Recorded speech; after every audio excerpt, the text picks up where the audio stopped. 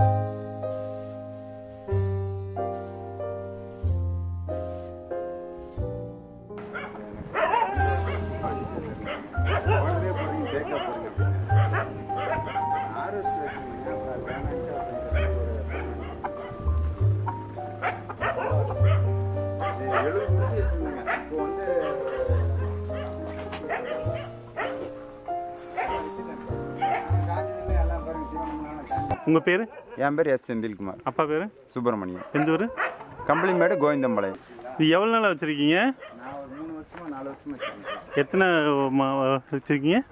இப்போ வந்து முப்பத்தி எட்டு இருக்குங்க. ம். எழுபது வச்சுருந்தேன். இப்போ எல்லாம் வித்துட்டேன் இந்த சீசனுக்கு. என்ன பிரீடு தலைச்சேரி கிராஸுங்க ம்.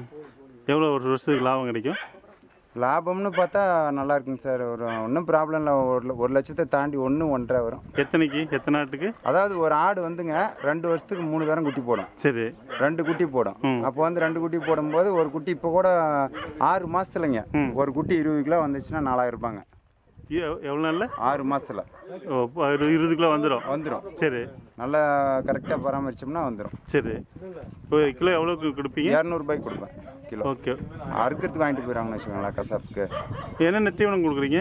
இந்த கோஃபார் இருக்குங்க தீவனம் சோளம் இருக்கு சுபா புல் வச்சுருக்கேன் அப்புறம் மக்காச்சோளம் வீட்டில் நம்ம காட்டில் விளையுது இல்லைங்களா மக்காச்சோளம் போடுவோம் கோதுமை அப்படி. லாபம் தான். லாபம் தான். ஆட்டில் நஷ்டம்னு சொன்னால் முடியாதவனா தாங்க இருக்கும் எத்த இப்போ இப்போ வச்சு எத்தனை வருஷம் ஆகுதுங்கிறீங்க? நான் மூணு வருஷம் ஆகுதுங்க. எவ்வளோ முதலீடு போட்டீங்க? முதலீடுன்னு பார்த்தா அப்போ வந்து ரொம்ப கம்மி தாங்க ஒரு பதினஞ்சு ஆட்டை வச்சு இது பண்ணினேன். ஒரு லட்ச ரூபாய் செட்டு போட்டேன். ஒரு பதினஞ்சு ஆடெல்லாம் குட்டியாக தான் வாங்கினேன். அப்போ வந்து கிலோ முந்நூறுபான்னு விற்றாங்க பண்ணையிலே வாங்கிட்டு வந்தோம். தலைச்சேரி கிராஸ். சரி. அப்போ தலைச்சேரி பியூர் தலைச்சேரி வந்து நம்ம கிளைமேட்டுக்கு சரி வரலைங்க. அதனால இப்போ இவங்க டாக்டர் கூட சொல்லுவாங்க பியூர் வேண்டாம்.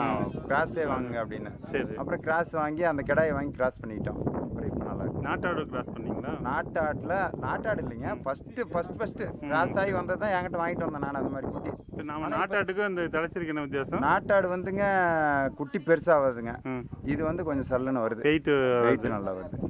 சரி இப்போ எவ்வளோ முதலீடு போட்டீங்க ஒரு லட்ச ரூபாய் ஷெட்டு செட்டு ஒரு லட்சம் ஒரு பாஞ்சாயிரம் இருபதாயிரம் இருக்குங்க. நாட்டுக்கு ஆட்டுக்குன்னு அவ்வளோதாங்க ஃபஸ்ட்டு குட்டியாக தான் நான் வாங்கினேன் சார். நான் வந்து ஹார்வெஸ்ட் பிஸ்னஸ் பண்ணிட்டு இருந்தேங்க அது வெயிலில் போக முடியலைங்கிறதுக்காக இதை மாற்றலான்ட்டு அப்படியே விவசாயத்தை சார்ந்து வந்துடலான்ட்டு அப்படியே வந்தேன் சரி இப்போ இந்த மூணு வருஷத்தில் என்ன லாபம் உங்களுக்கு? வருஷம் ஒரு ஒரு லட்சம் ஒன்றரை லட்சம் குறையாதுங்க. இப்போ நீங்கள் போட்ட முதலீடு எடுத்து இப்போ எல்லாமே லாபம் போட்ட முதல்லாம் எப்பயோ எடுத்தாச்சுங்க. ஒரு வருஷத்தில் ஆட்டு வந்துங்க.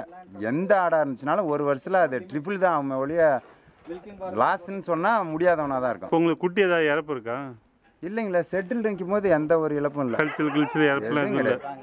லாபம் தான் லாபம் தான் சந்தோஷம் தேங்க்யூ